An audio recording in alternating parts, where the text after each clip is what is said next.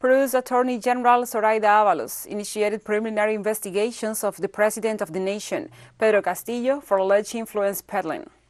Despite the fact that the prosecutor incorporated the president in a second provision of preliminary investigations, in the same provision, the whole process of investigation is suspended until the end of the presidential term, until 2026. The public prosecutor's office has detailed that the beginning of the acts of investigation will be suspended until the end of his term of office due to his absolute immunity that transcends the procedural sphere. The prosecutor's suspicions are linked to three cases in particular. The first accuses the president of having intervened inappropriately and indirectly in a public construction tender. In the second, Avalos accuses him of having intervened in a biodiesel acquisition process. And in the third case, he is under accusations of influence peddling and illegal sponsorship. Castillo has faced several accusations since he took office and legal attacks from the political right wing sectors as a liability that has stranded part of his management management.